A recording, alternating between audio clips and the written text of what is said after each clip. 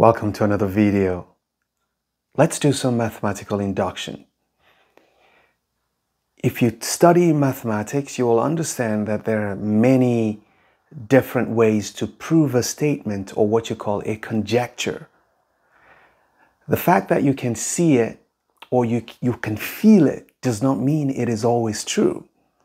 So the statement I have on the board that n, a natural number, is always less than or equal to 2 raised to power n minus 1, you will notice that if you test it with some numbers starting from n equals 1 to 2 to 3, the statement is true. But you cannot just accept the conjecture that what you're saying is true. That's why mathematics is the most trusted of all the sciences because you see, science tries to predict the future based on what is observed now or try to have a conjecture of what happened in the past based on what you see now. But a lot of times those things are not correct. It's just a guess based on the present. But in mathematics, if we say something is proven, it is proven. Okay, that's the beauty of math. You should trust math more than you trust any other science. So, when we say something, it's called a conjecture. So this is a conjecture, but we want to prove it that if you have natural numbers, any natural number you pick will be less than or equal to 2 raised to power n minus 1, where n is the natural number. And we do this, one of the ways of making doing a mathematical proof is by mathematical induction. And I'm going to show you what happens. The reason I picked this is because it's an inequality and it's harder because it's not an equation that you can move things around easily. You have to think a bit carefully before you start moving things around. So, let's get into the video.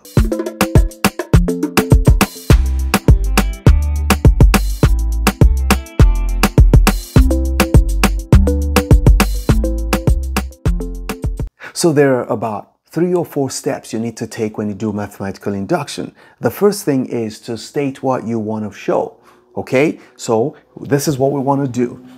Um, the general pro proposition, so we have our proposition for n, okay, is that, I'm going to write it this way, is such that we want to say n is less than or equal to 2 raised to the power n minus 1 for any natural number. So let's write it as n, let's put it here, n is in the set of natural numbers, okay?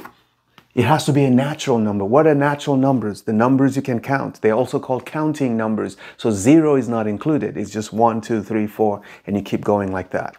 So what is the first step? The first step is to test. Let's start from the smallest number you know, because the smallest number is the easiest number to test. So we're going to test this. So let's do our proposition is to test for n is equal to 1. If n equals 1, what do we have? We're going to have 1 is less than or equal to 2 raised to power 1 minus 1. What is 2 raised to power 1 minus 1? That's 0.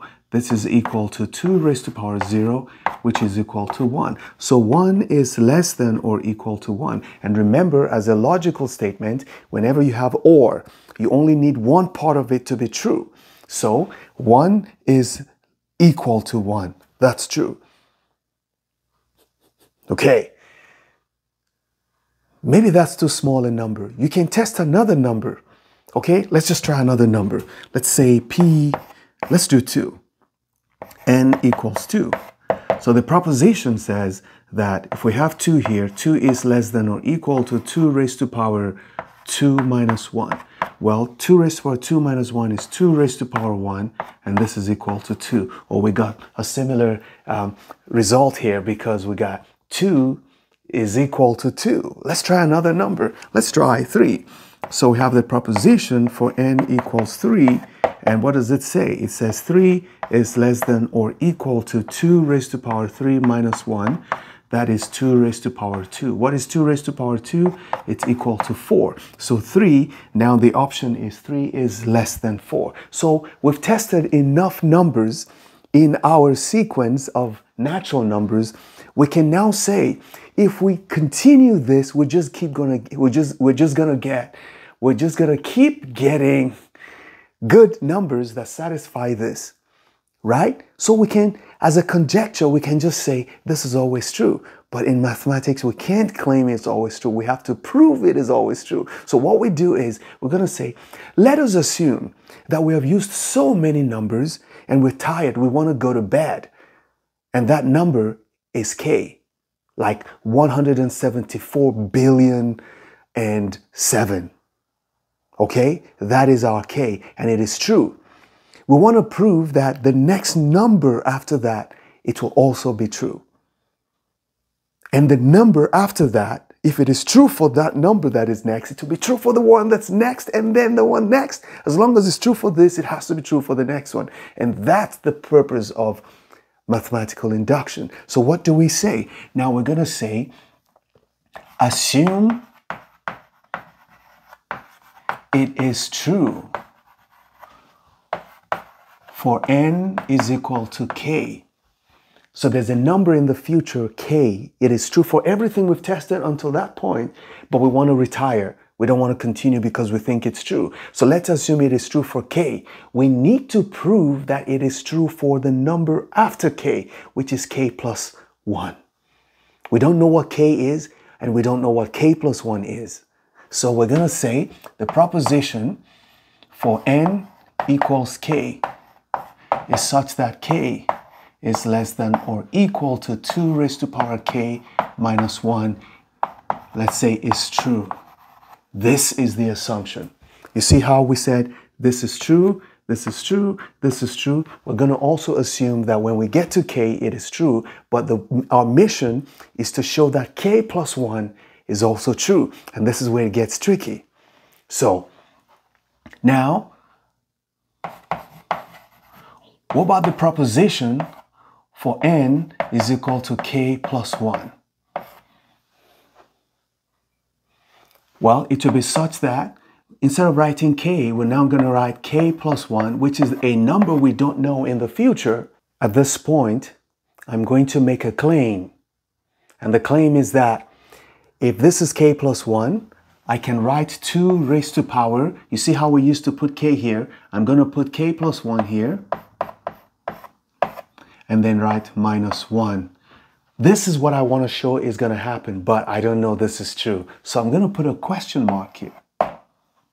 Because there's a big question mark there. You don't know that it's always true. Is this a true statement? Well, we don't know. Well, because this is an equality, that's why it gets a bit tricky. We don't know if this is true. But there's something we can do. Now, watch what I'm about to do. If I make a claim and I say that 3 is less than or equal to 4, let's, let me use 5. This is a true statement, okay? But if I want to brag about it, I'm going to say, you know what? Just to prove to you that 3 is less than 5, I can even make this 5 smaller. If I make this 5 smaller, 3 will still be less than what is left. That's so true. Because if 3 is less, less than something less than 5, then 3 is less than 5. Look, if 3 is less than or equal to 4 and 4 is less than or equal to 5, then clearly, this is called the transitive property, this actually is less than 5. It's obvious. So what I'm going to do is I'm going to try and reduce the right-hand side, make it smaller, and then compare it to k plus 1. If it is still smaller, then it means what I had originally was true. So when you have inequality, what you can do is make this bigger or make this smaller. If you make this smaller and this, the statement is still true, then you have proven what you're trying to prove. Okay, that's how you work through inequalities generally. So let's finish this up. Let's simplify this. k plus 1 minus 1 is going to be just 2 to the k because 1 minus 1 is 0. So this is 2 to the k. Okay, so what I'm claiming now is that k plus 1 is less than or equal to 2 to the k. Okay, how do I make life easy? Let's go back. This is always essential. If you don't use this in your proof, you have not done the proof. You're lying. or you made stuff up. You have to use this statement. So how do I get something from this statement? Well, it looks like I can go here and say, since k is less than or equal to, you see 2 to the k minus 1 is the same thing as 2 to the k divided by 2, right? Half of 2 to the k.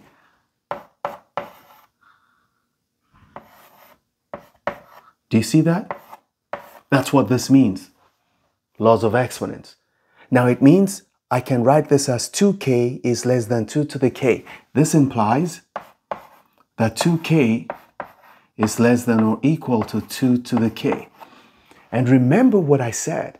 The original plan when you're dealing with inequalities is to reduce the bigger side. And if the left-hand side is still um, less than what you get ultimately, then you know the original was actually bigger. So what I'm going to do is I'm going to make this smaller.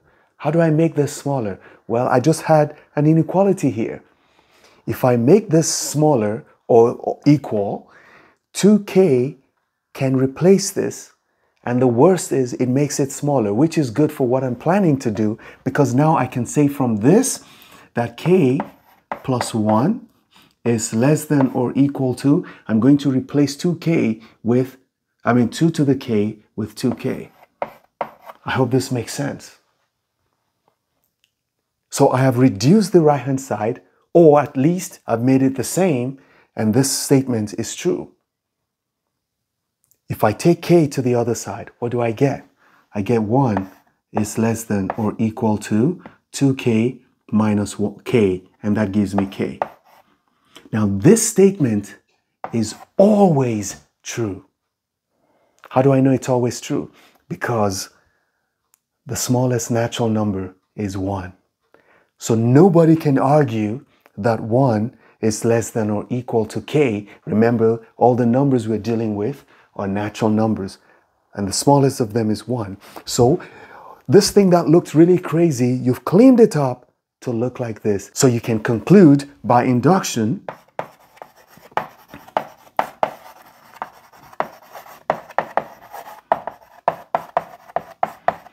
by mathematical induction n is less than or equal to 2 to the n minus 1 for all n in the set of natural numbers. Done. Never stop learning. Those who stop learning, stop living. Bye-bye.